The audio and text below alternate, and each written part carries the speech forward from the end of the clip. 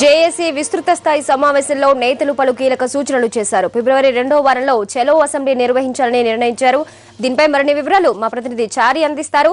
చారి JAC సమావేశంలో ఎలాంటి నిర్ణయాలు తీసుకున్నారు? నేతలు ఏ ఏ సూచనలు చేశారు?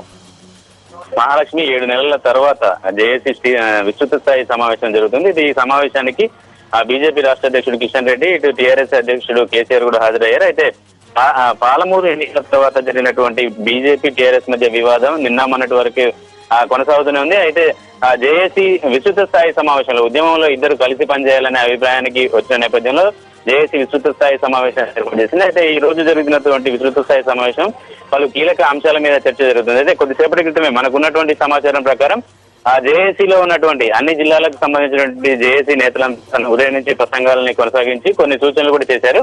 అయితే అటు టీఆర్ఎస్ ఇటు బీజేపీ నేతల వైఖరిని కూడా తప్పుపడుతూ వచ్చారు. ఎమ్మెల్సీ ఎన్నికల్లో ఎప్పుడు వచ్చినా ఆ ఎమ్మెల్సీ ఎన్నికలతో పాటు ఎన్నికలు ఎప్పుడు వచ్చినా టీఆర్ఎస్ బీజేపీ ఇద్దరు ఆ పోటీలో దిగడానికి తప్పుపడుతూ వచ్చారు. ఇద్దరిట్లో ఎవరో ఒకరు ఆ అండర్స్టాండింగ్ కాబట్టి సీట్లు షేర్ చేసుకోవాలి. మీ ఒక సీట్లో మీరు ఒక సీట్లో మేము అనే ఒప్పందం కుదుర్చుకోవాలి తప్ప ఇద్దరు పోటీ పడడం వల్ల జనానికి మీ సమాధానం చెప్పుకోవాల్సి వస్తుంది అని చెప్పేసి జేఏసీ నేతలు అటు టీఆర్ఎస్ ఇటు బీజేపీ నేతల తీరును కూడా తప్పుపట్టారు. అయితే ఫిబ్రవరిలో ఫిబ్రవరి బడ్జెట్ సెషన్ జరుగుతున్న నేపథ్యంలో అసెంబ్లీలో ఆ తెలంగాణ తీర్మానం ప్రవేశపెట్టాలి అని చెప్పేసి ఒత్తిడి తేవడం రాజకీయంగా ఒక ఎత్తుగడ అయితే అసెంబ్లీ చెలో అసెంబ్లీ ముట్టడిని ఆ చేయాలి అని చెప్పేసి కూడా ఎక్కువ జేఏసీ నేతలు ప్రతిపాదన తీసుకొచ్చారు. డిసెంబర్ తొమ్మిది రెండు వేల తొమ్మిది డిసెంబర్ తొమ్మిదిన తెలంగాణ పై చిదంబరం చేసినటువంటి ప్రకటన నేపథ్యంలో డిసెంబర్ తొమ్మిదిని తెలంగాణ సాధన ఆ దినంగా జరుపుకోవాలి.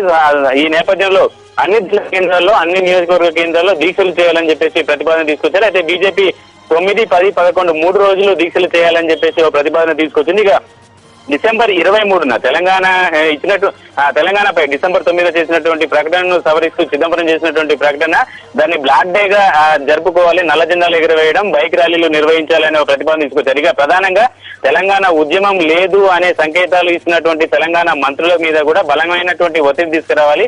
రాజకీయంగా ఆ తల మనుగడ ఉండదు అనే సంకేతాలను తీసుకువస్తే మంత్రులు కూడా తెలంగాణ ఉద్యమంలోకి వస్తారు అని చెప్పేసి వాదన కొనసాగింది. అయితే ప్రధానంగా తెలంగాణ మంత్రుల ఇంట ముందు చావు డప్పులు కొట్టడం తెలంగాణ మంత్రుల ఇంటికి ఇంట్లో ముట్టడి చేస్తే తప్ప తెలంగాణ మంత్రులు ఉద్యమంలోకి వచ్చే అవకాశం లేదు అనే అభిప్రాయం తీసుకొచ్చారు. మొత్తానికి తెలంగాణ మంత్రులు లక్ష్యంగా ఉద్యమం కొనసాగాల్సిందే అనే మేజర్ మెజారిటీ జేఏసీలు కూడా సూచించాయి. ఇక ఆ టీఆర్ఎస్ అధినేత కేసీఆర్తో పాటు బీజేపీ నాయకులు కూడా ఇంకా మరి కాసేపట్లో సమావేశంలో మాట్లాడే అవకాశం ఉంది. మరో నలభై నిమిషాల్లో జేఏసీ విస్తృత స్థాయి సమావేశం ముగియనుంది. అయితే ప్రధానంగా టీఆర్ఎస్ బీజేపీ రెండు పార్టీల వైఖరులు మాత్రం జేఏసీ నేతలు తప్పుపడుతూ వచ్చారు Mahalakshmi. Okay right. Thank you Chari.